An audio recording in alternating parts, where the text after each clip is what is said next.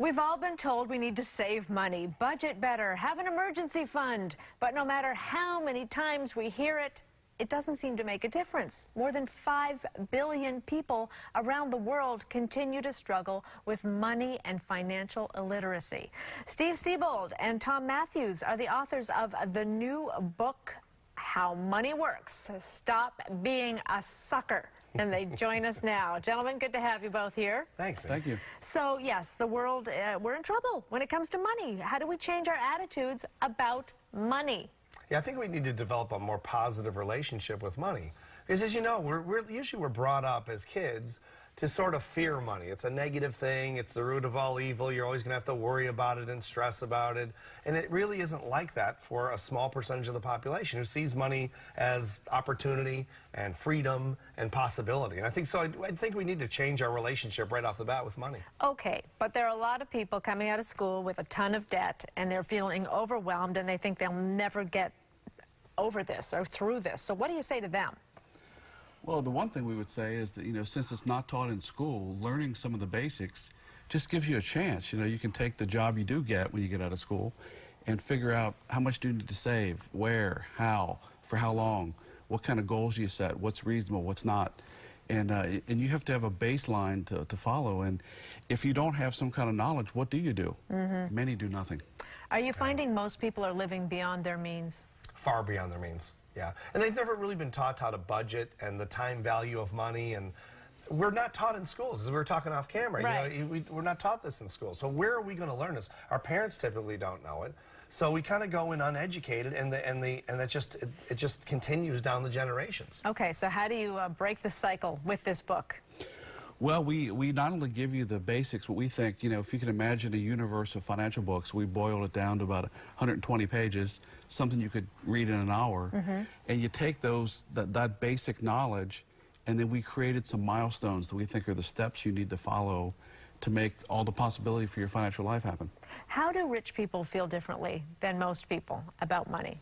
What's, well, their, what's their relationship with money, and how is that different? Well, I've interviewed rich people for 35 years, self-made millionaires, and they, they, again, they have a positive relationship with money. I think it starts there, mm -hmm. but they think about money all the time, but not in the is same... Is that healthy? Well, in, in the context of, of possibility, okay. again, freedom, and it's, it's not the most important thing in the world, but it's certainly is one of them okay. you know, to make life work. And so you don't have to be stressed out about it. So they do spend a lot more time thinking about money, but in a positive sense as opposed to worrying about money. Right. Okay, what's something that people at home, takeaways right now, that they can do no matter how old they are, what their background is, what can they do to have more of it? Because there's billions out there, you just have to know how to get it.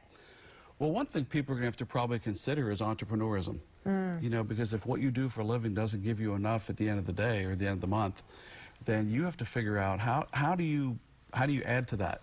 And uh, the, everybody can't work overtime or, or you know find a way to make more. So you got to do something to to bring some value to to your, your finances that right. way. But there is a, a, belief that you have to spend money to make money. What if you don't have that money to invest in yourself to make money? You really don't have to. That's really a misnomer. I mean, that really is something that's been, you can spend money to make money. Certainly mm -hmm. the wealthy do that. But you really don't have to. I mean, if you find a problem to solve, in a free market economy, you can get paid to solve it. And it doesn't take money up front all the time to do that. So I think you have to be creative. How did you both become such experts in money? Because I know at one point you were not doing so well when you had a ton of debt. I was broke, yeah. You were broke. Yeah, so how did you get yeah. from there to here? I started interviewing self-made millionaires in 1984, mm -hmm. when dinosaurs roamed the earth. and uh, you probably were not around back then, but I was. You're sweet. And, yeah, and the, well, they, they taught me a totally different way to look at money. And about four or five years into the interviews, honestly, I realized I was the problem. It was the way I was thinking about money and approaching it. And so I just started copying the way they taught me in the interviews, and that changed everything. Is there something people should start giving up in order to have more money? I mean, we always say, instead of going out for that cup of coffee every day, make your own. Is, it, is that too simple, or do those little things actually work? I think it's like any other goal that you set. If you're serious about it, you'll find a way to do the things that will cause that to be possible for it to happen for you.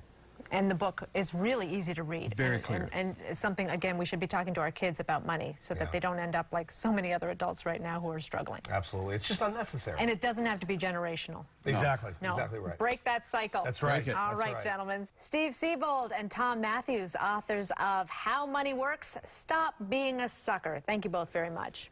You're Thank welcome. You. Danny, over to you. Australia is